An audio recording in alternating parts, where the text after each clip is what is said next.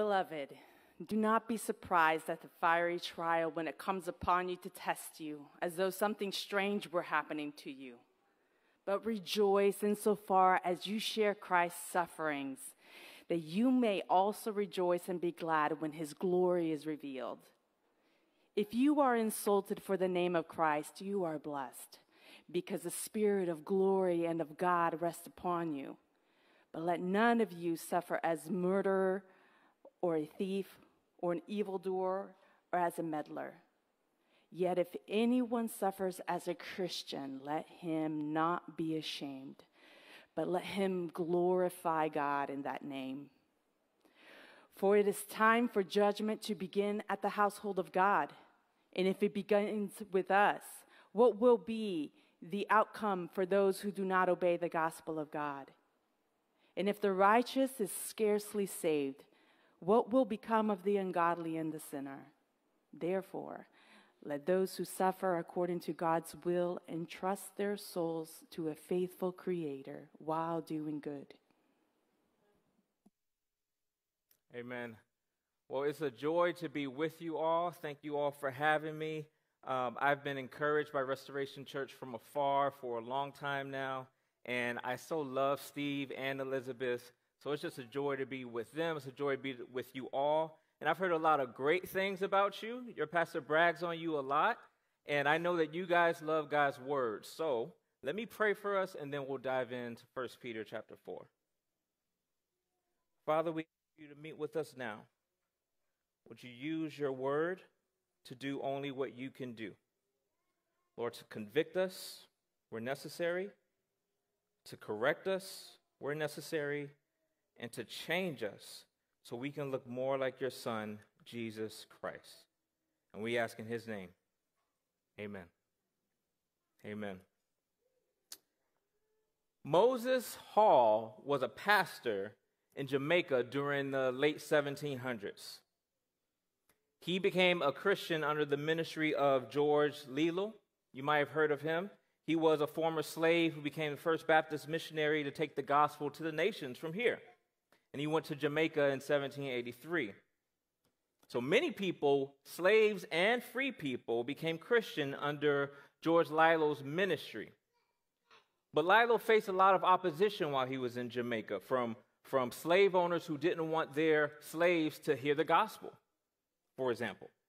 So George Liele was often arrested on these false charges and put in prison.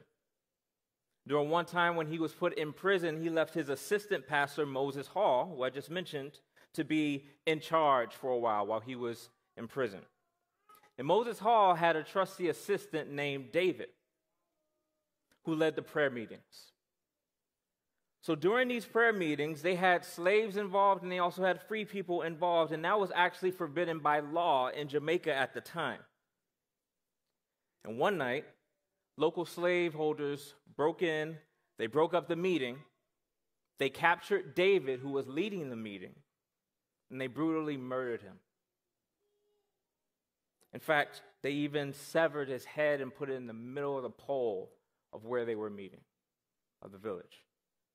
Now that's graphic and shocking, right? And it's, it's even so foreign to us and so far removed from us in the States. We know that brothers and sisters throughout the ages and throughout history, and even right now across the globe, are being persecuted for their faith. And that's the same audience or the same context of First Peter that he's addressing here. These elect exiles who are being persecuted for their faith. And he's addressing them throughout this letter as you've been addressing in this series called To Hope.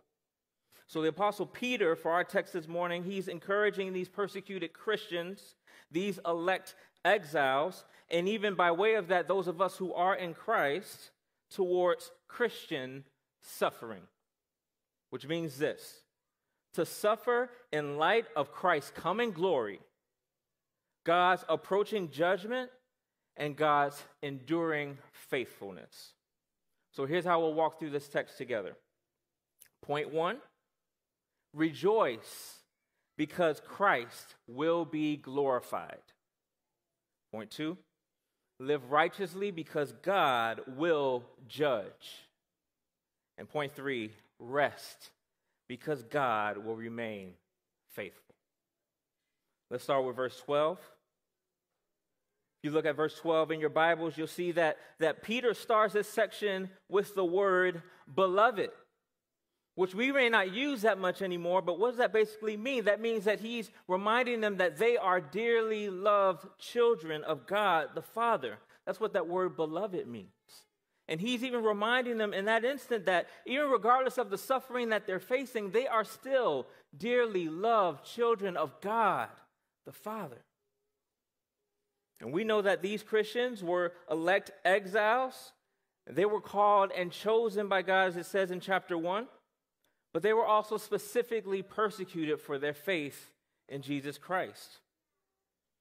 But if they are dearly loved children of God the Father, then why are they suffering in this way? It's a decent question to wonder about. And better yet, why should they expect to suffer, as Peter reminds them of in verse 12? Well, it sounds like here Peter was listening to his Savior Jesus when Jesus said this in John chapter 15. He said, A servant is not greater than his master. If they persecuted me, they will persecute you. So Peter had not only seen his brothers and sisters suffering and being persecuted in this way for the sake of Christ, he experienced it himself, and he also saw Christ suffering. And even Paul co-signs this statement in 2 Timothy when, when Paul says that all of us all of those who want to live a godly life will be persecuted. Now, even that is hard for many of us to swallow, and I understand that. We rightly understand that we face suffering in this life, right? I mean, 2020 has been a year marked with suffering in so many different arenas, in so many different ways. But the suffering that he's referring to here is specifically because they name the name of Christ. Suffering because they are Christians.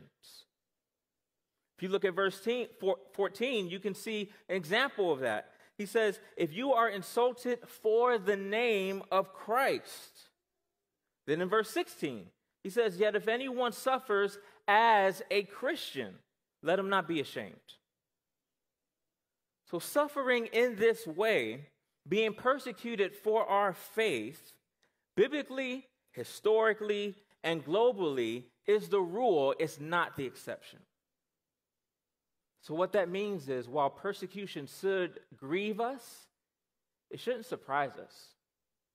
It shouldn't surprise us. But again, here for us in the States, we, we are often surprised, right? We're surprised when persecution comes uh, because it hasn't been here um, in a normal way as it is in many other countries in the world. And we rightly count our blessings for that. We're able to meet and gather freely, for example. That's a blessing from God. But what if that changes in the future? How are we going to respond? What about personally? It's possible that, that maybe some of us aren't persecuted more personally or, or maybe even ridiculed for our faith more personally. Not just because of our freedoms here in this country, but maybe because we aren't as bold as we ought to be for the sake of Christ. And I don't mean that you're, you're opposed or you're, you feel like you're persecuted when you're really just kind of mean or, or, or proud or, or arrogant. I'm not, I'm not talking about that, right? We, I'm not talking about if you're really just being inconsiderate. We can't claim persecuted if we are not being Christ like. We can't claim persecution unless we are actually like Christ. But what I mean is, simply for the sake of following Jesus, you're opposed. Peter says, don't be surprised by that, but rejoice. Rejoice. Not in the persecution itself, per se, or the suffering itself, but as he says in verse 12, insofar as you share in Christ's suffering, sharing in Christ's passion. In the early church, they understood that. So even in Acts, for example, Uh, the believers said in Acts chapter 5 that they were counted worthy to suffer for the dishonor of the name of Christ. What a statement, right? They believed, as we should believe, that Christ will be glorified. Look at verse 13 in 1 Peter 4. Rejoice insofar as you suffer Christ's suffering, as you share in Christ's suffering, that you may also rejoice and be glad when his glory is revealed. Through our suffering, beloved, Christ will get his glory. That is a fact. Both now, even when we can't see it, but also later when all of us will see it in full, when we will see his glory. If you don't see it now, you will surely see it later. So, suffering should help us to, to long for the fact that his glory will be revealed to us one day. So, brothers and sisters, as you suffer, don't just look down. Look ahead to the glory that awaits us for those of us who are in Christ. His glory will be revealed. So these persecuted Christians, they were tested in a lot of different ways. They were, they were harmed physically, many of them were even killed brutally, and they were even insulted as well. Look at verse 14 says, You are insulted for the name of Christ. You are blessed because the Spirit of glory and of God rests upon you. The name Christian in the early church was actually used as an insult. Most of us don't mind being called Christian. We're, we're, we're cool with that. We're fine with that. But long time ago, it was an insult. It was a diss. Like, you're just a little Christ. That's what people used it for. They were saying, We saw Jesus, and Jesus was a failed revolutionary, so they thought. We saw him down the cross. So what happened to him will happen to you. And they looked at these early groups of Christians as just this fringe group of followers. It's like your fate is going to be Jesus' fate. That's what's going to happen to you. But Jesus told us about that, didn't he? He said it very early on in his ministry in the, in the Sermon on the Mount in Matthew chapter 5. He said, Blessed are those who are persecuted for righteousness' sake, for theirs is the kingdom of heaven. Blessed are you when others revile you and when they persecute you and utter all kinds of evil against you falsely on my account.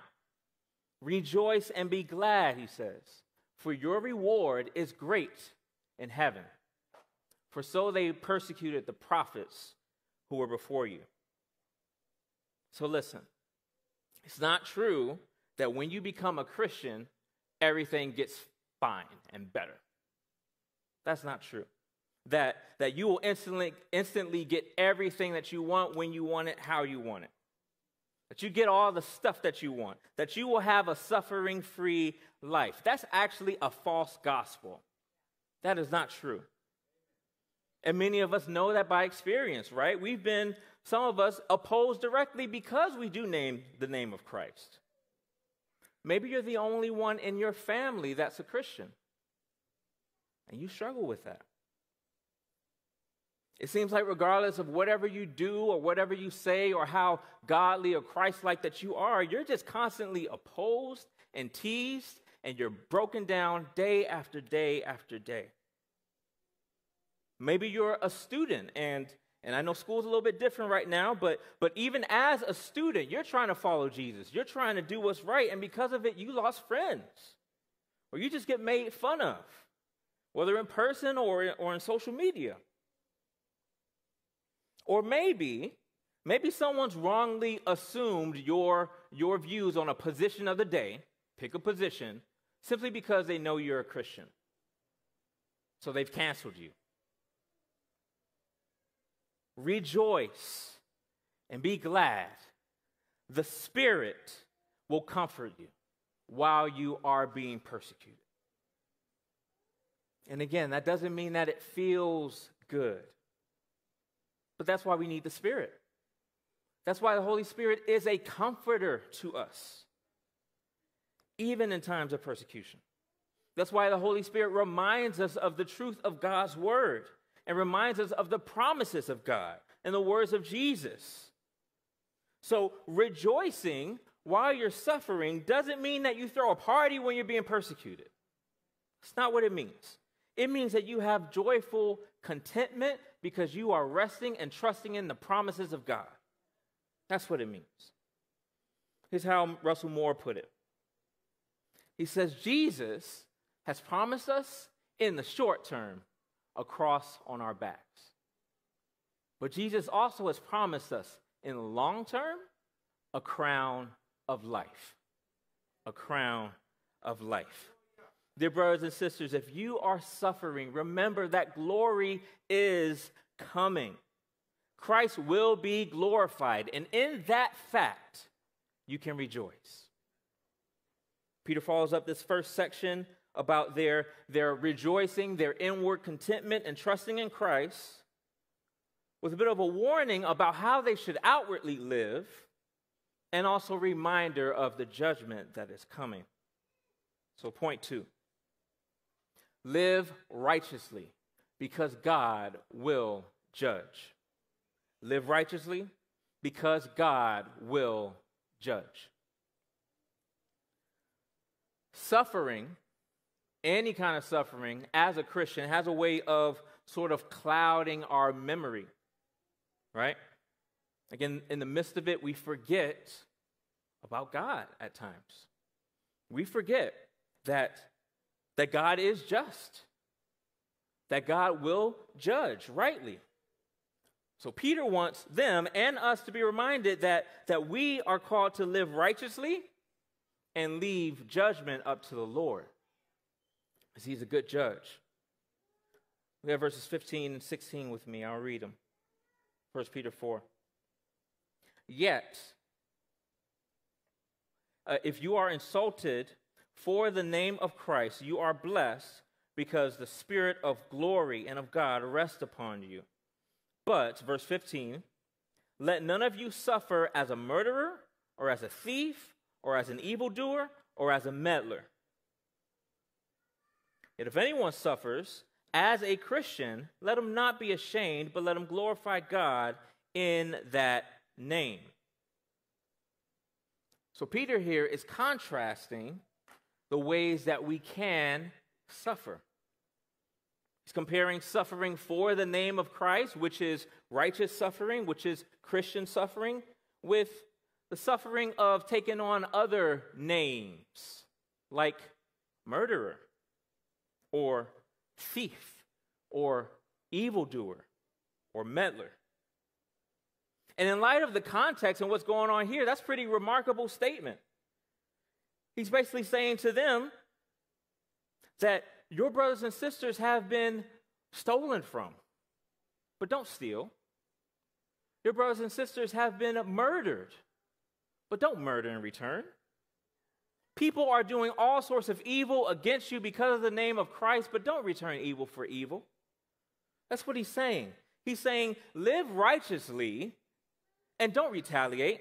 Leave judgment up to the Lord. So they shouldn't be ashamed of this, this persecution that they're facing, and they should glorify God in their conduct, in how they live, in their righteousness. And so should we. Now, when we see and hear lists like that in the Bible, where it, for example, when it says, uh, don't be a murderer or an evildoer or a thief, we tend to, you know, go through our mental checklist, right? Like, all right, I haven't murdered. I'm good. Haven't stolen, or at least I haven't been caught yet. Cool. Good. Um, and that's a little bit more gray, but we, we won't even get into that, right? Uh, so check, check. The evildoer, well, I mean, no one's investigating my thoughts, so, you know, I'm all right. But then what do we do about meddling? It's like, what is this, Scooby Doo or something? Like, come on. What does it even mean to meddle? It basically means to mind other people's business. And we don't do that now, do we? I mean, social media makes it really easy to do that, right? Some of us actually should be working for the government, the way that we're able to investigate and dig in and find everything that there is to know about an issue and what everybody else thinks about it, right? But but seriously, maybe we also meddle in different ways. Maybe we meddle by, by comparing our lives to other people's lives, especially those who are not Christians. While we may be persecuted for our faith, they seem to be prospering. We can't talk about Jesus at work. We can't share the gospel where we work, but everyone else can say whatever they want, whenever they want. We can rightly object to those things, but let's be careful that we're not meddling. Let's not return evil for evil. Let's entrust ourselves to the Lord, even in the midst of that form of persecution. In light of all this talk about persecution this morning, I think it's appropriate to ask this question that we all should reflect on. Here's the question what has following Jesus cost you? Even if you're watching this online, I want you to think about that. What has following Jesus cost you? Maybe following Jesus has, has cost you to forsake and say no to that sin that, if you're honest, you really, really love, and sometimes you still do. Maybe it's cost you a job that you can't take or you can no longer do in good faith and good conscience. Or maybe relationships because you've been rejected and separated from people and, and you just are, are, are ridiculed for the sake of Christ. Maybe you know what that's like. And again, for many Christians around the world, following Jesus actually does cost them everything. Heard a sermon recently about a, a pastor who was preaching in the Middle East. And at the end of this sermon, he noticed a, a young Muslim man who had, he had seen from time to time come up to him. And he came up to him after the service was over. And this young man basically told the pastor that he wanted to follow Jesus. So the pastor grabbed a couple other elders and, and they, they talked with him. They asked him questions. And this young man seemed to know a lot about the Bible. He seemed to, to, to be able to share what the gospel was. He seemed to get the gospel right. He seemed to be sincere in wanting to follow Jesus. So the pastor asked him, What's, what's been taking so long? You seem like you got it. You seem like you've been wanting to do this for a while. And here's what the young man said to the pastor He said, My father told me that if I become a Christian, he will beat me. So tonight, I will bleed. So I'll ask you again, brothers and sisters what has following Jesus cost you? It may not be everything, it may not be physical harm, but it should be something. It should be something. And know this that whatever the cost may be, or whatever the cost will be, the cost of following Jesus also pays. It does cost to follow Jesus, but it also pays to follow Jesus. We are called to live righteously because God will judge. Verse 17 and 18. For it is time for judgment to begin at the household of God, and if it begins with us, what will be the outcome for those who do not obey the gospel? And if the righteous is scarcely saved, what will become of the ungodly and the sinner? So Peter refers all throughout this letter of 1 Peter to the fiery trial that they were facing at various points. That fire, though, that he's talking about isn't just one that burns. For the Christian, it's a fire that perfects and purifies. So you think the back, back to verse 12. He says, part of the reason why we shouldn't be surprised at this suffering that is coming upon us is because God uses our suffering. And He uses it to purify us, to perfect us, to make us more like His Son, Jesus Christ. He does that for the whole household of God. And His work will be a completed work. What He started, He will finish. So when you are suffering, you are being perfected to look more and more like Jesus. But what about those who aren't part of the household of God? Verse 17 asks it this way What will be the outcome of those who do not obey the gospel? Similar to in verse 18 when he, when he says, What will become of the ungodly and the sinner? including those who are doing the persecution, by the way. What will become of them? In short, they will be rightly judged by a just God. The God that created the whole world and everything in it and all people in it. He's good and he's faithful and he is just. And he made us, all of us, every single one of us, in his image and for his glory. Problem is, we want our own glory. We're glory thieves, as some people say. And we live for our own will, for our own desires. We've sinned against God in our words, in our actions, in our thoughts, in our inactions. We've sinned against God and each other. And because God is holy, he must punish sin and sinners. And that punishment is not only final, it is just. And that fire does burn. If that were all of it, there would be no hope for any of us. But God is not only just, He is merciful. And that's why he sent Jesus, fully God and fully man, to come to reconcile sinners to him. And Jesus lived a sinless life, a perfect life. But he also died a sinner's death on the cross, taking on the full wrath of God, taking on all of our sin, taking on all of our shame, and what, what we actually deserve, he took it on. But we also know what happened on the third day, amen? He rose victoriously from the grave conquering sin, conquering death, and conquering hell, so that all of us who will put our faith in Jesus Christ alone for salvation can know him as the just and the justifier. We can be forgiven of our sins. We can be made new and we can be reconciled to the Lord.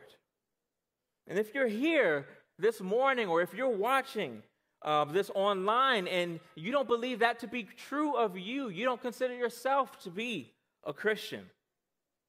Let me tell you that God is just and his judgment is coming, but his mercy is more. God's justice and his mercy meet on the cross of Jesus Christ. You can turn to Jesus Christ in faith today. Now, brothers and sisters here at Restoration Church would love to talk to you more about what that means. But for us Christians, those of us who already believe this fact, who know that this is true, notice that Peter doesn't just say believe the gospel, he says obey the gospel.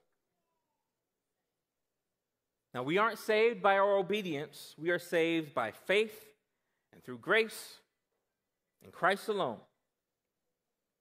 But our obeying the gospel basically means it's our obedience to the gospel through our faith and through our repentance. The gospel demands our faith and our holiness. It's not a get out of hell free card. God wants us to walk with Him. So, Christian, when you sin and when you stray, because you will, and maybe as you're listening now, you already have, you still have a loving and gracious and merciful Father who wants to be merciful towards you. Don't turn away from him. Don't run away from him. You can run towards him and find the mercy and help that you need because of what Jesus has already done for us. You can even find the grace and help to live a righteous life. So, since God is judge, we can live righteously even while we suffer because we trust that He is the just judge and He will judge correctly. In verse 18, Peter uses a reference from Proverbs chapter 11 where he asks, If the righteous is scarcely saved, what will become of the ungodly and the sinner? Now, the scarcely saved part doesn't mean that Jesus' finished work on the cross wasn't enough for our salvation. That's not what he's talking about. What he means is he's reminding the believers of how much they actually needed Jesus in the first place, which many of us sometimes can tend to forget. So, in other words, Christian, you didn't need just a little bit of Jesus in your life. You didn't need just a little bit of the blood of Jesus Christ sprinkled on top of your goodness and your good works. You and I were not merely on life support. The Bible says we were dead in our sins and trespasses, but God made us alive in Him. You didn't just need help, you needed saving. Pastor H.B. Charles puts it this way He says, In salvation, we do our part, God does His part. We do the sinning, and God does the saving. We do the sinning and God does the saving. He's good, amen? Amen. So, briefly, to live righteously, what does that mean? We talked about that a lot. And there was a sermon preached already a couple weeks ago on 1 Peter 7, uh, 1 Peter chapter 4, verses 7 through 11. That would be good to go back and listen to, remind ourselves of this. Peter, Peter's saying this in one thought. He's talking about our righteous living.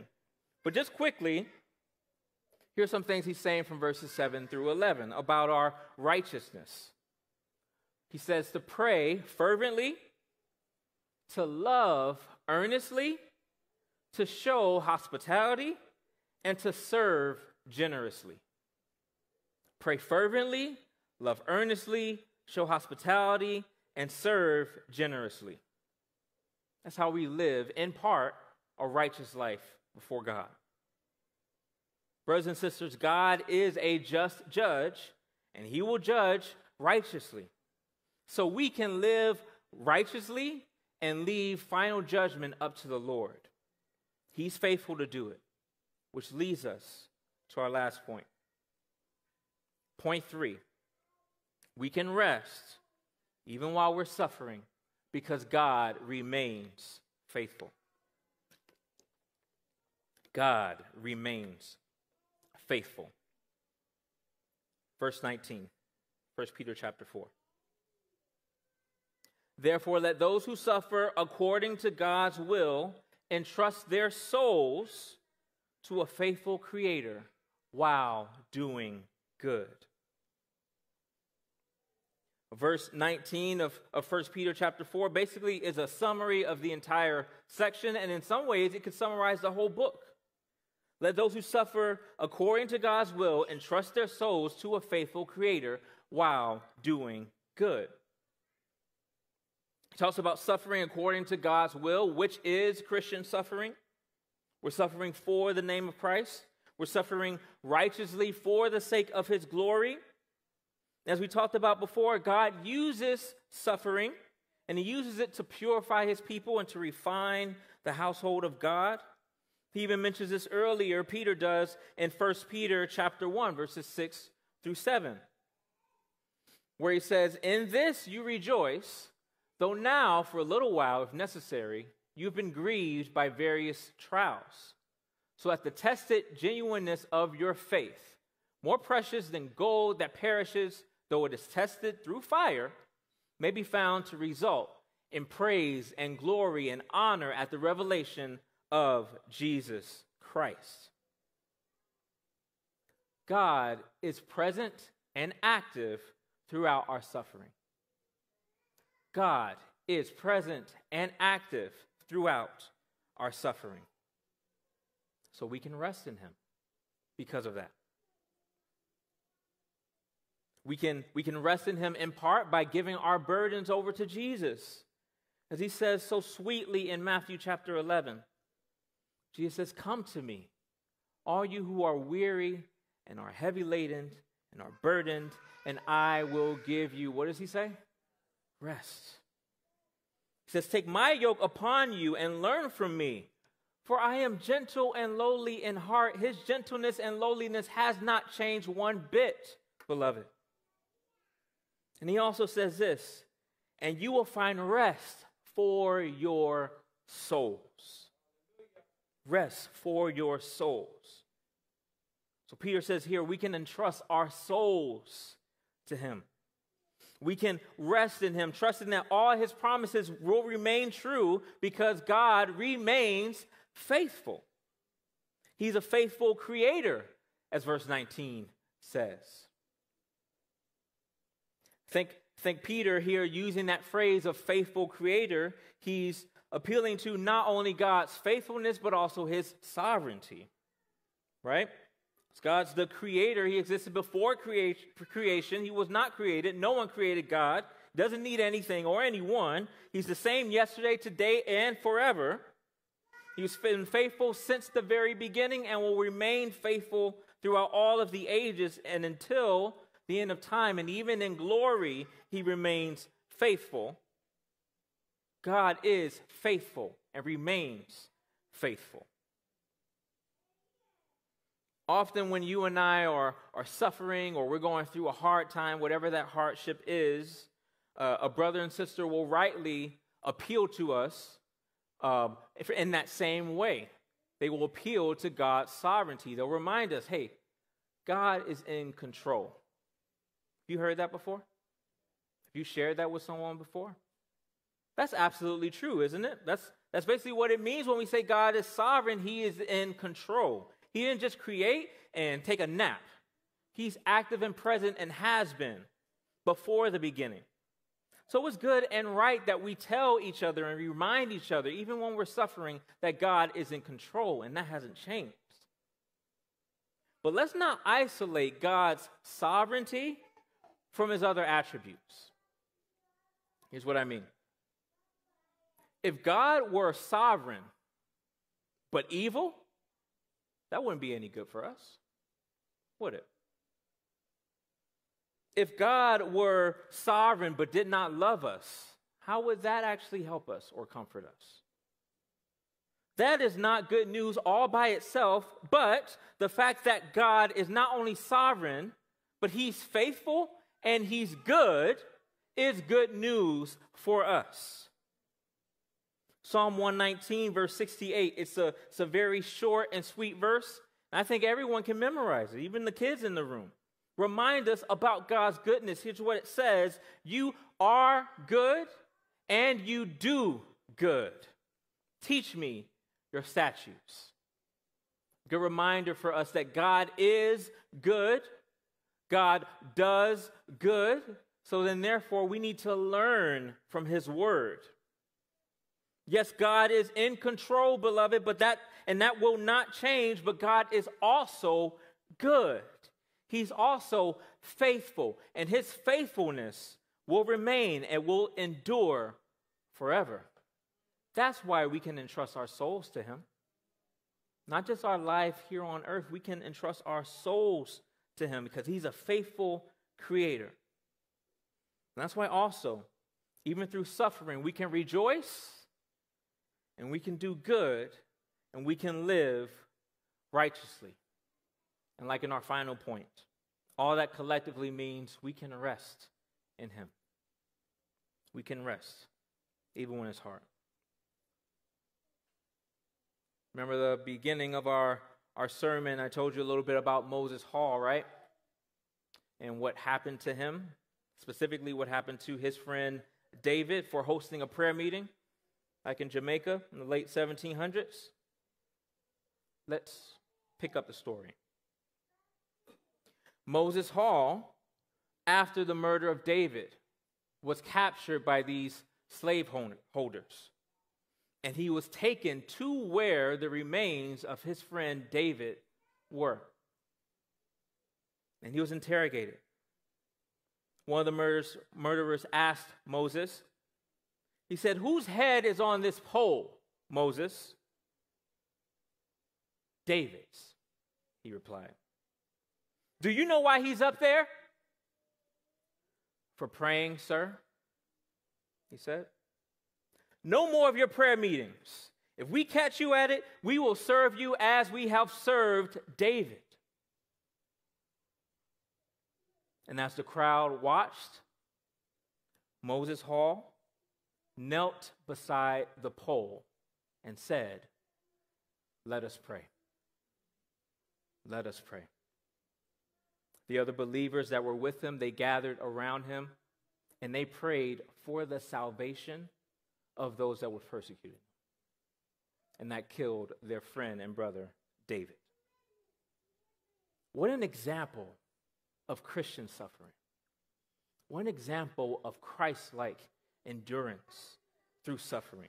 Hope that God will do everything that He said He's going to do. Restoration Church, brothers and sisters here, and if you're watching online, regardless of what suffering has come our way or will come our way, may we decide to rejoice. May we decide to live righteously and may we rest.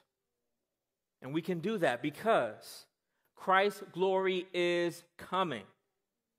God's judgment is sure, and God's faithfulness endures forever. Let's pray together.